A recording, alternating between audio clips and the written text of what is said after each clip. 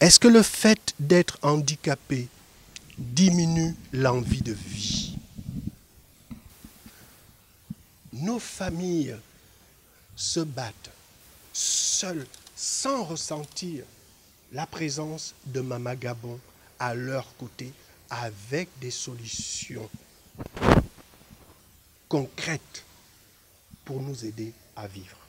Nous avons l'impression que l'existence des personnes handicapées n'est pas prise en compte par Mama Gabon.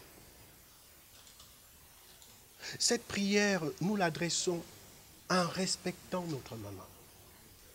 Mais les douleurs qui sont les nôtres vont peut-être nous amener à employer des termes peut-être brutaux pour que Mama Gabon sente nos souffrances. Nous voulons vivre. Vivre, c'est quoi? Nos parents veulent voir nos infirmités être corrigées.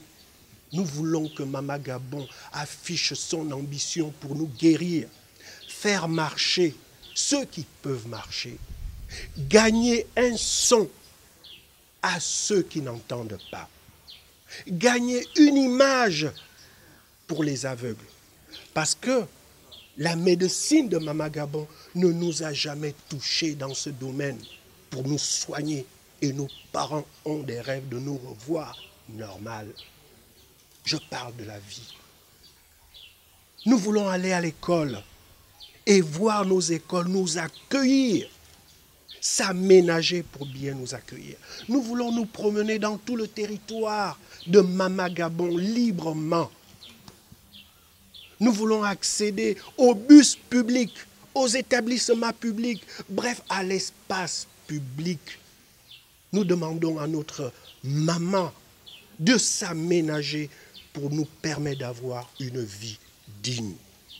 Nous demandons à notre maman de prendre l'exemple de ceux qui ont su dépasser leur handicap. C'est une richesse extraordinaire pour Mama Gabon. Il faudrait qu'elle se serve de cela pour donner l'espoir aux grands handicapés qui se disent qu'ils ne peuvent pas arriver à vivre. Nous avons mal parce que nous savons, nous savons que le handicap guette les autres. Et que si les autres deviennent handicapés, ils trouveront un enfer. Ils ne trouveront aucune structure pour les permettre de se réadapter dans la vie. J'ai mal. J'ai mal pour eux parce qu'ils ne sont pas protégés. Parce que rien n'est fait pour stimuler notre envie de vie et pour aider nos familles. Je voudrais vraiment demander à Mama Gabon de jeter un regard sur tous les paralysés du Gabon et de prendre les mesures d'urgence pour nous aider à vivre. D'autres mamans le font.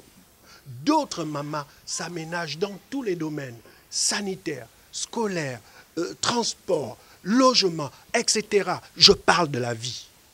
Je parle de la vie.